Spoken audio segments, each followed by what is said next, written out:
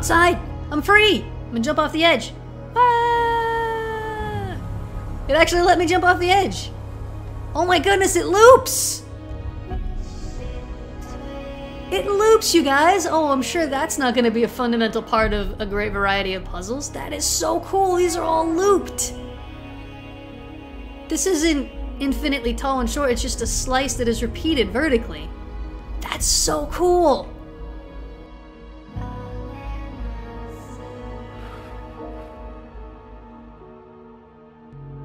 There's a door on the ceiling. You're standing on the floor. You cannot jump, you cannot climb. You step onto the wall. The wall becomes the floor. The door is straight ahead. You walk through.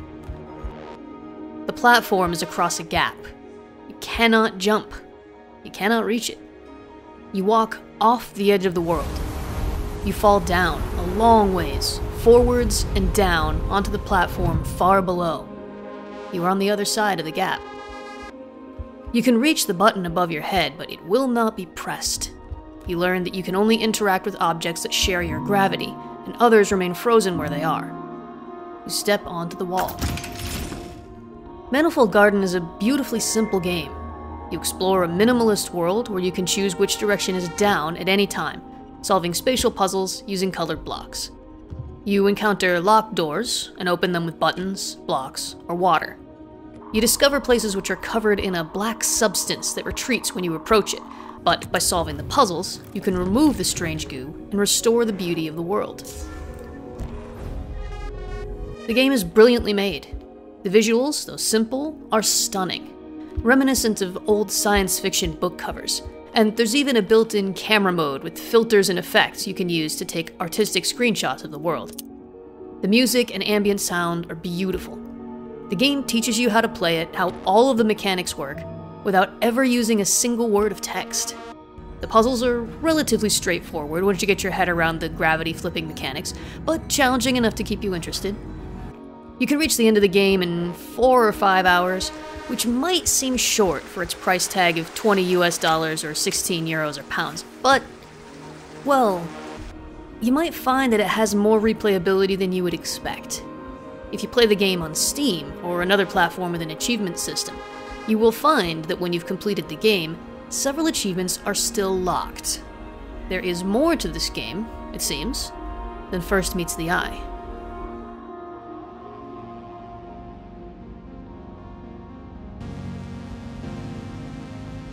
Very minor spoilers lie ahead, so pause this video now if you'd like to experience the game unspoiled, and come back once you've completed a few areas. You pass through a hallway and notice out of the corner of your eye that there's a door outside. A door you never find the other side of. You approach a large, magnificent door that requires a yellow block to open. But there are no yellow blocks here. There's no way to get one here.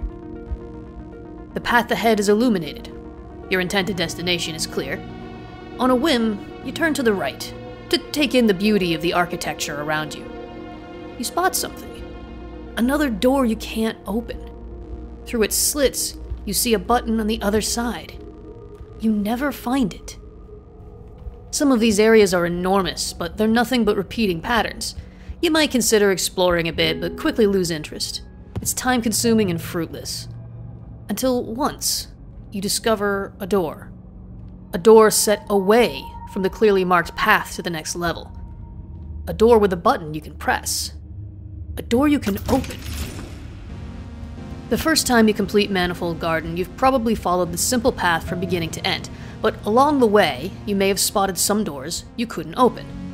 Perhaps, like me, you expected to find the way back to them as you played through the rest of the game, but never did. Maybe it nags at the back of your mind. Maybe you start playing again, exploring more carefully this time.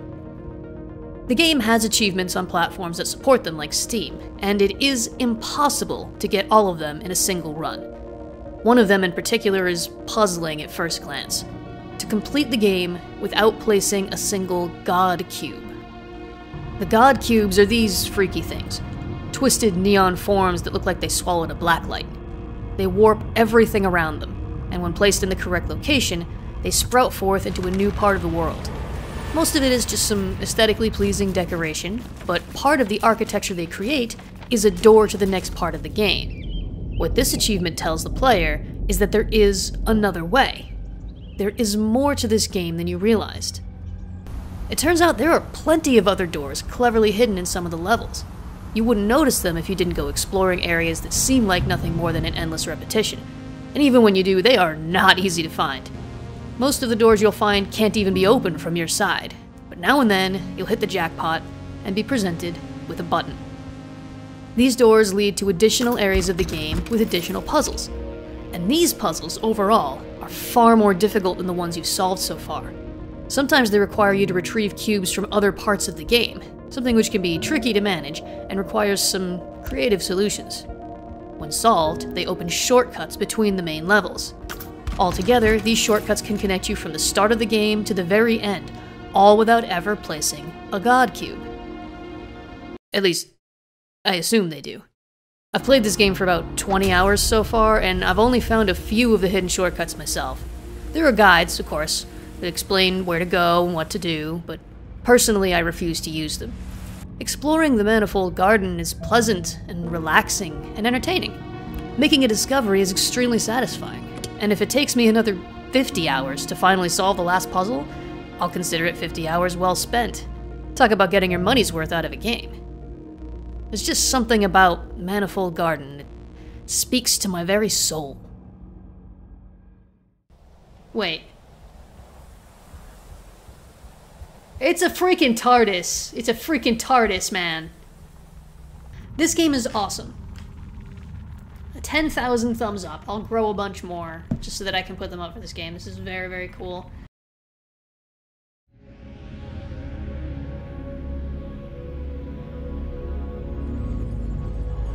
There's a long staircase going up. You crane your neck upwards to see the wall it leads towards.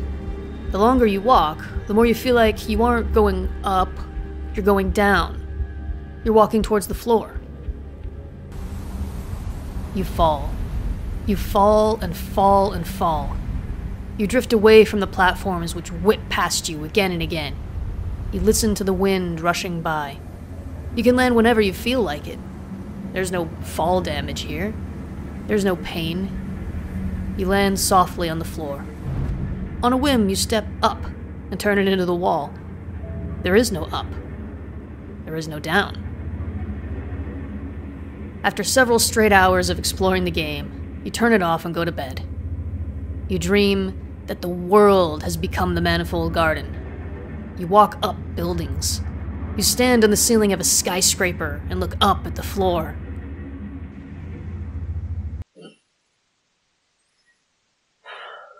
You wake up.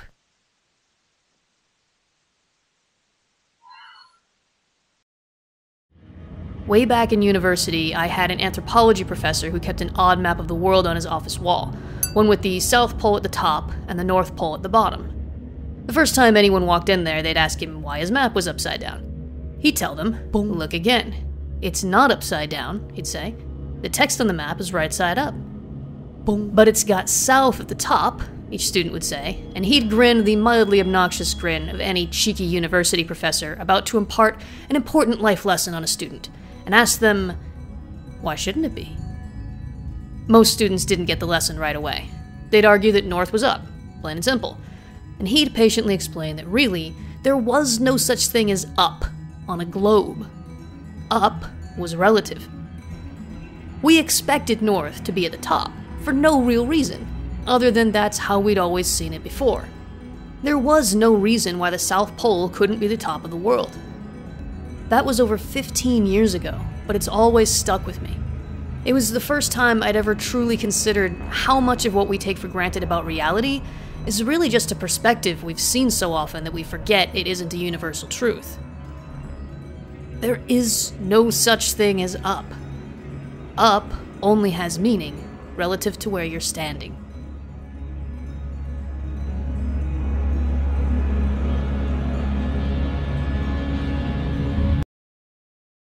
It's only a game. And truth be told, coming back to reality after playing a game like this can lead to certain frustrations. But it is a pleasant escape from the real world, and an excellent tool for challenging and overcoming some of your preconceptions about reality. In a world where opinions are touted more and more often as facts, where certain perspectives are privileged above others and some are discounted altogether, I think we could all use to practice flipping the room on its head every once in a while and walking on the ceiling.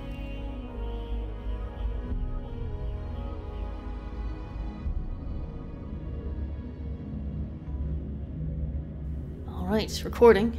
I'm a professional.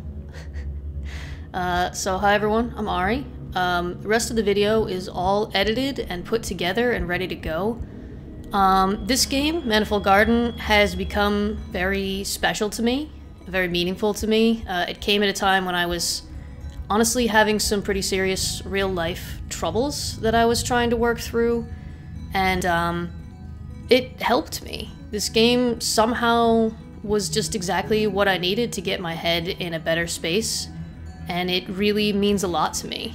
It was released on Steam on October 20th. Uh, October, yeah, October, October 20th. I had an advance copy, and the plan was that I was going to release this video on release day. It is now December 31st, 2020, uh, which you will note is more than two months late. Uh, what happened? I had a script and I started getting footage and stuff, and I realized there's a whole bunch of stuff that I had missed, and the script I had written wasn't good enough. And so I needed to start again. And so I scrapped it and I started again. And then that sort of kept happening. Um, and it kept just sort of getting worse and worse. It was sort of like the longer I worked on it, the more I felt like the video I was making wasn't going to be good enough. And I was getting really frustrated because I am a writer. Like, that is my day job. I make a living and pay the rent with writing. I put things into words. That's what I do. And this time, there was something about the game that I just couldn't put into words. Try though I may. And that was a little bit, honestly, a little bit disconcerting because I mean, that's what I do, right? That, that's, that's my thing. And I couldn't do it this time and it because the game is important to me i really wanted it to be perfect i wanted to communicate all that i needed to communicate about this game in the video so that people would understand why it mattered so much to me and in the end i kind of kind of got to a point where i was like maybe that's all i need to say right like maybe it's enough for me to say there's something about this game I can't put into words. I, a professional writer who does words for a living, don't have the words for it. And I mean, your mileage may vary. I'm not necessarily guaranteeing that this game will be life changing to every single person who comes across it. In fact, I'm, I'm pretty sure it won't. Um, but it was really important to me. Even even if this game doesn't change your life and isn't super meaningful for you, um, you know, it's a good game. I think that's the one thing I can guarantee. It's beautifully made, beautifully designed. Um, I don't usually use this word when I'm reviewing a video game, but I would go so far as to call this one a masterpiece. Honestly, I have no notes. I have no critique. I have no thoughts, no suggestions. They did it. if the visual style appeals to you, if the puzzle solving appeals to you, if the sort of philosophical stuff that I got into in this video appeals to you at all, um, you should just get Manifold Garden. You should just get this game. It is extremely good, and I think you will not regret getting this game.